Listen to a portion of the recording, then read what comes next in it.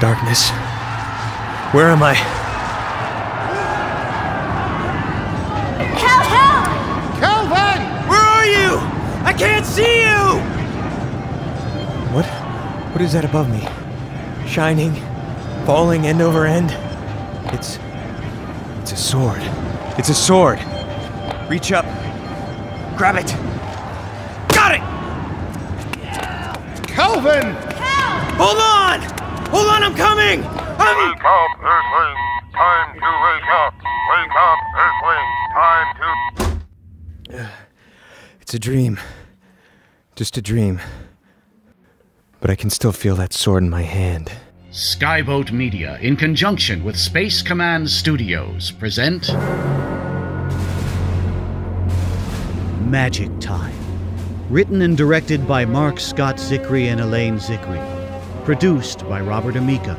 Starring Armin Shimerman, Christina Moses, David Polcyn, Sara Jo Elice, Richard Tanner, Anthony Cohen, Neil Kaplan, R. Martin Klein, Nathaniel Freeman, and Joe Ochman.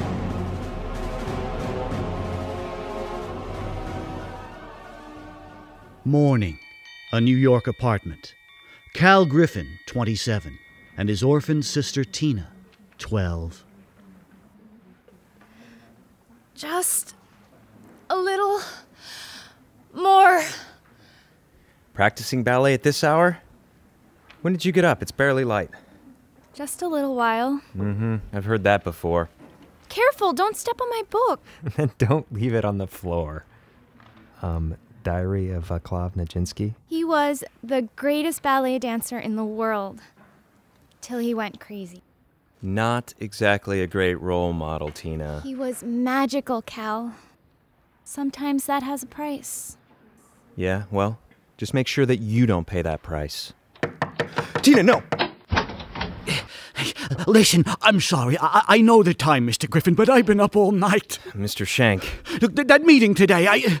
Oh, your daughter? Sister. It's okay, he's a client. Why don't you go in the other room, put your school clothes on? Pretty. Yeah, she's studying at the School of American Ballet. Nice. Look, I, I shouldn't be here. You're angry. No, no, no, it's just weird dream. It's nothing. So, you're concerned about the meeting this afternoon. I can't sue my own nephew. He's all I got.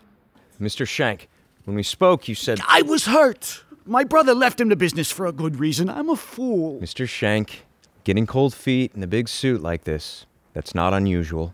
My nephew wasn't gonna freeze me out. But my friends and then your boss, they all said, idiot, big money, more. Would I really win? No. I knew it. The will's sound, right? No, it's got wind blowing clear through it. Well, then who? We do. You're lawyers. In a suit like this, we get the candy store. How do I get out of this? I can't face that table full of suits, that, that boss of yours with his, with his eyes like stones. I'll fold. I'll, I know myself. What do I do? Mm, don't go. I'll write you a letter, you fax it, that ends it. But I signed stuff. Your boss said penalties, something. Mr. Shank. But I signed. Okay. Your contract? Oh, God bless you. hey, hey, ballerina, back just in time to witness someone save an old man's life. That's some brother you got there. I know. Well, uh, you know, uh, sometimes I see life like a football game. In school, you play? I fenced.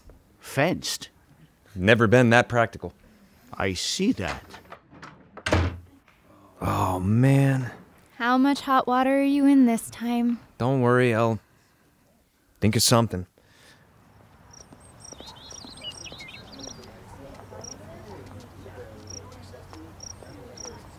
You there! You there! You stop that right now. I can see it from this porch. You and your dog are breaking the law. The street is not a public urinal. I've seen you before, and I'm taking it all down. You're not getting away with it. We hope you enjoyed this preview. To continue listening to this audiobook on Google Play Books, use the link in the video description.